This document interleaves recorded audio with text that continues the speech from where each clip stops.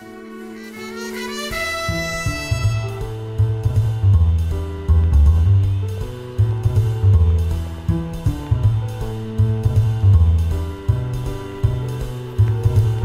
and welcome, guys. It's Mark from Gunpla Network. Uh, this video is proudly sponsored by the awesome guys over at robocity.com.au. Remember to check out their website.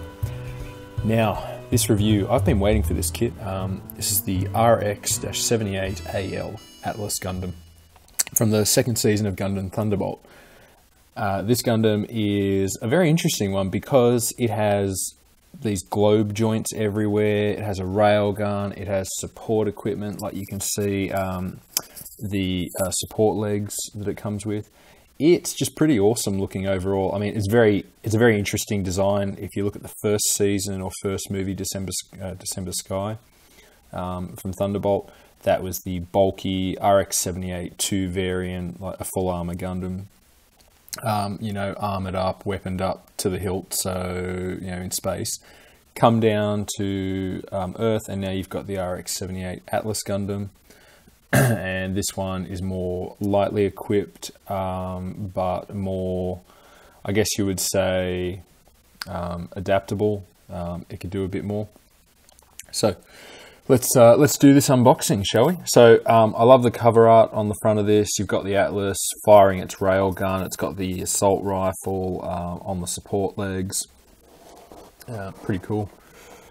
Go to the side. So this is also an interesting choice for a Gundam too, because you mean I mean you would say it's it's yellow. Like obviously a lot of Gundams are just a standard white, blue, red um, variant. Even the first series one was a dark red, dark blue with a white. This is a white, almost a German grey, um, dark grey, and a yellow. Um, it's pretty cool. It's it's just different. Um, this box has also got some uh, some English on it, which you should be able to see just there if I angle that right. Uh, prototype of a Gundam type mobile suit, which was developed by the Earth Federation forces specialized in ground and undersea warfare. This MS adopts the technologies developed in the Principality of Zeon, including globe joints. The sublegs allow the machine to stay in the air and cruise underwater. Deployed to the assault landing ship Spartan, this machine had a central role in Operation Thunderbolt. I actually called it Operation Thunderbolt, but okay. Uh, and then you go and you got some more information um, over on this side, which you could pause to have a look at. Um, they're just talking about uh, South Sea Alliance and some images there from the movie and series. Standard on the side there. Um, more okay, more around here. If we have a look, um, we have some posing. I mean, you could use an action base with this. Uh, it's just talking about some marking stickers you've got you've got with it. I've actually ordered some water slides for this because I don't want to use stickers, but that's from what I've seen, they look quite good. Submarine mode, uh, there's a flight mode, um, and then there's just talking about the flexibility and mobility here. Um, so I don't think this one actually has polycaps, so it'll be an interesting build. Uh, price 2300 yen, not bad. Um, yeah, all right, let's unbox this bad boy. Ooh, okay, now the guide's on top because I peeked. I couldn't wait um, to have a look at this. So that's a that's a really cool um, looking um, guide there. It's just one full image and the name. Um, we'll swing around to the back and have a look. Um, this has got um, this is the sticker guide and it does actually look like this is going to be a pretty sticker heavy kit. There's actually a lot of warning symbols around the railgun, um, warning decals everywhere. Uh, build two sets, there are two assault rifles. Um, shows you a picture of the, uh, the flight mode and the submarine mode there and there. Um, just some more information talking about its fight with the mobile armor uh, a color guide, shield. Shield's really interesting on this. Um, another image there. You can see um, just posing it up again. I love that railgun. That railgun is beastie. Um, there is a cockpit block, not a core block. So it's really good because obviously being a 2017 kit, um, you get a Japanese, but then you get English for everything as well, which is awesome. Uh, people are into that sort of stuff. Now, this was, as far as I'm aware, a pretty new um, kit, and it was all purpose made. So um, there is only one, two, two X's that I can see of parts that we will not use, and it looks like it's just a double up of a part that's already there. So that's pretty cool. So the, the runners on here should all be um, brand new for this. And you're going to start with the chest. Uh, um, you'll then move down to the head.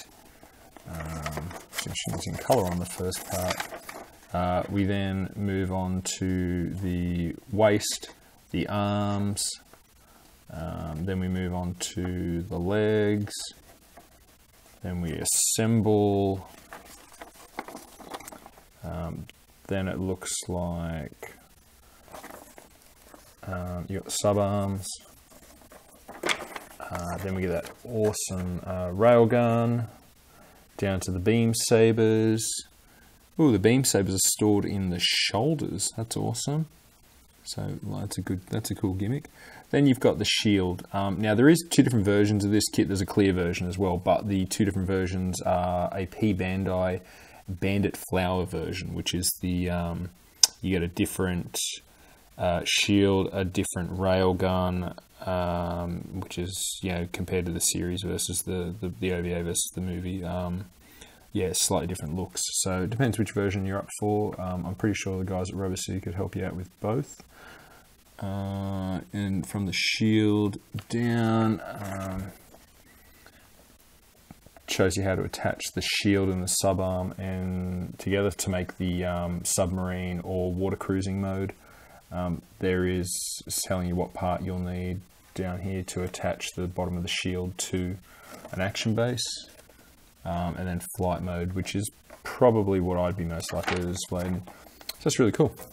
Sorry about that, guys. I, there's a bit of a gap in the video there. I just wanted to um, get all the plastic out of the way and get rid of the sound you would usually hear when I'm unwrapping stuff. So there are two sticker sheets you get with this. Um, a foil sticker set, which um, I won't lie, it looks kind of part intensive. Obviously the eyes at the top there, um, two, four, six, eight of those smaller round stickers, which obviously go on the ball joints. And then you've got two, four, six, eight of the larger ones. Um, yeah, there's there's quite a lot here. Um, not real happy about that, but we'll see what they look like. I may end up painting some of this if I can. I don't know if I'm going to have a whole lot of time because it's it's obviously um, pretty intensive on the colors there. So uh, now you do get also apart from the foil stickers, you then get a marking sheet of stickers. So uh, EFSF. Um, a ton of warning signs. Uh, you get the um, Io Flemming's family, the Fleming family crest there. Um, yeah, this is, this is like a warning sticker sheet and a marking sheet. So that's actually really cool. They don't include that often on HGs. I think the Origin got some of those, but that's really cool. Now, the parts, the runners, you can see, here's my stack here. So if we have a look, that is uh, E1, which is TB and 2017. So, like I said, purpose made because you get the sub arm joints, um, the machine gun. I don't think there's going to be anything that's not 2017 Thunderbolt in here, which is this is A1. So, sub arms, uh, there's the shield. Now, it says that one we won't use, just that one. So, there must be two on another one as well. Uh, waist joints, uh, armor, hands, um, thruster covers. Uh, this one is D1 and also a 2017. Ah, there's the, um, that's it. They include the adapter just there for your, uh, for your mount for your action base. That's cool. Uh, some joints. This is the shield, which I'm not sure I, I, I like, but um, yeah, not for everyone. Uh, that's B1. We then have C1, which is, oh, a ton of yellow. This is the railgun, uh, part of it at least. Love it. Uh, this is D2, which is some more joints.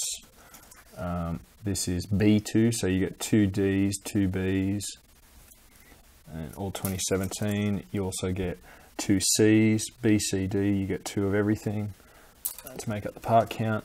Some extremely long, they're almost like master grade length beam sabers or effect parts.